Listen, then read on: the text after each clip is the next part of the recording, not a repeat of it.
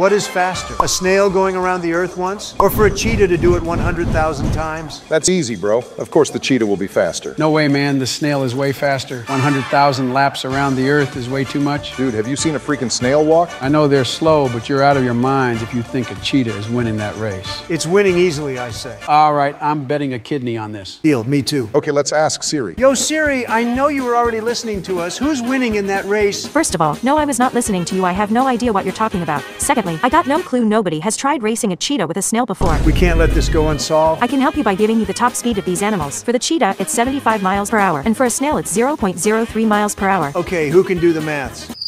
Don't worry, I got a time machine and I know a guy who can help us. There's no way Joe has a time machine, right? No man, let's be. What's up, boys? My name is Albert Einstein. Holy crap. Chad, is this real? Joe told me about your question. The cheetah would take 33 million hours. Meanwhile, the snail, 834,000 hours. Give me your kidneys right now.